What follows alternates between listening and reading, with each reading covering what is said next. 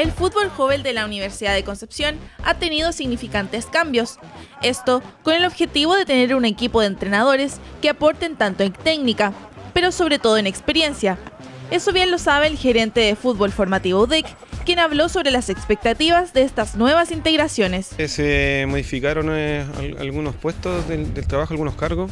Eh, algunos profesores cambiaron de serie y bueno, se incorporaron nuevos entrenadores ¿cierto? Al, fútbol formativo. En la serie, bueno, empecemos desde abajo, desde, abajo me refiero a las series menores. Empezamos por la escuela de fútbol, que el profesor Eduardo Lavarra quedó a cargo de, esa, serie.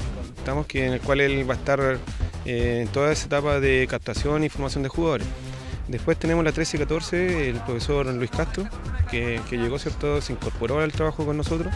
Eh, un profesor de mucha experiencia en lo que es la formación deportiva, sobre todo en esas edades que se necesitan especialistas. Y junto a él también llegó el profesor Hugo Vidal, que llegó en la preparación de arquero también en la etapa de 13 y 14 años. ya en la serie cadete, ya sub 15, está el profesor Bastián Strautmann, Se, le, se le asignó esa serie. En la 16 está Jonathan Quintana, que también ya trabajaba con nosotros. Y en la categoría 17 y 19 está el, profesor José Zapata junto a John Jerez. El preparador de arquero de la serie eh, de la 15 y 19 es el profesor Manuel Rivera. Nosotros tratamos de alguna manera de hacer la mixtura ¿cierto? de juventud en el cuerpo técnico y también gente experimentada. Ahora nosotros lo que buscamos y obviamente que haya gente especialista, sobre todo en las edades más tempranas. Entonces, por lo tanto, nosotros sabemos que esa edad es muy importante en la formación del, niño, en este caso del deportista, el cual obviamente tiene que eh, obtener cierto conocimiento y, en este caso trabajo que de alguna manera lo vayan desarrollando. Para los jóvenes futuros del fútbol es esencial que alguien con trayectoria sea quien les traspase los conocimientos de este deporte. Y no solo eso, los valores como el respeto y la disciplina son fundamentales para crear a profesionales del balompié Así lo destaca el connotado ex arquero Hugo Vidal. He tenido harta experiencia, he trabajado con muchos jóvenes, bueno, he trabajado desde escuelas de fútbol, de más de chiquititos, de 10 años, 8 años, hasta plantel profesional, ¿cierto? Yo estuve muchos años en Mochipato, 20 años aproximadamente, en el CONS, en Lota también trabajé, entonces he visto muchísimos jóvenes. Eh, muchos tienen, bueno, en realidad todos tienen la ilusión de poder llegar a ser futbolistas profesionales el día de mañana pero no es solamente las ganas que ellos tengan, sino que tienen que tener las condiciones. Y más aún en el puesto de arquero, porque no cualquiera puede jugar al arco. En el fondo, el objetivo, en términos generales, es que ellos logren llegar el día de mañana, ¿cierto?, a un primer equipo.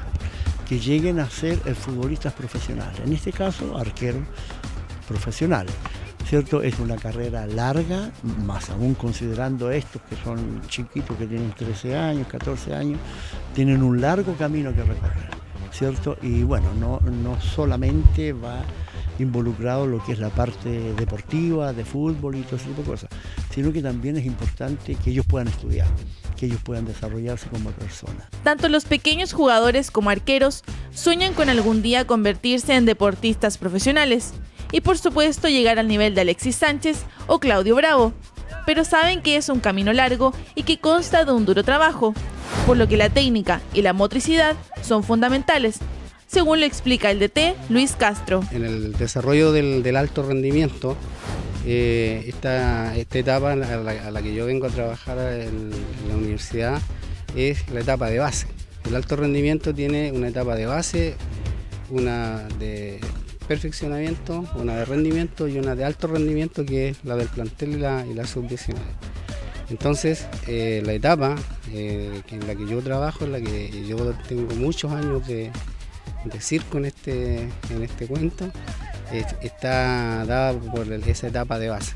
Y esa etapa de base, digamos que son los niños este, que están entre los 9, 10 hasta los 14 años. Estuve en Ñublense, estuve en Lotachuaquel 6 años, en Huachipato estuve 23 años y bueno, ahora llego acá este nuevo desafío para mí. Eh, esto no es fácil, trabajar en el fútbol no es fácil. Eh, uno necesita de una familia que te apoye y que te, que, te sostenga, porque esto no es, no es, solamente eh, tener éxito, a veces las cosas no se dan y uno necesita una familia que lo contenga.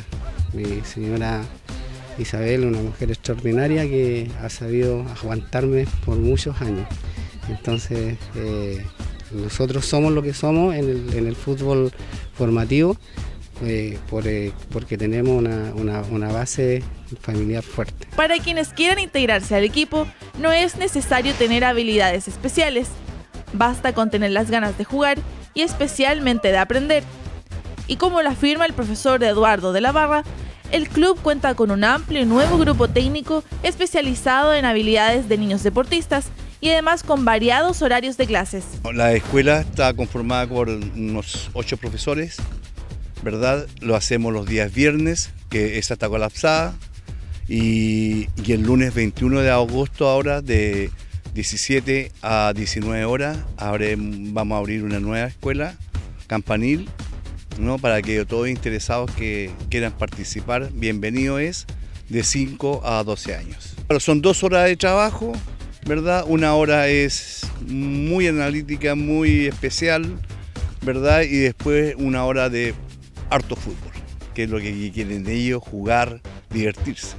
Y eso mismo la verdad que le va eh, dando un tono a lo que las ilusiones que ellos a la corta edad tienen como ser jugadores de fútbol. Las inscripciones eh, son acá mismo en la Universidad de Concepción, arriba en la cancha de fútbol, tenemos nuestra oficina, eh, está la señora Valesca ahí para atender a todo papá y eh, la, la, cuota de inscripción son 25 mil pesos, donde va todo su tenía incluida. Y después la otra son las cuotas mensuales, son de 15 mil pesos.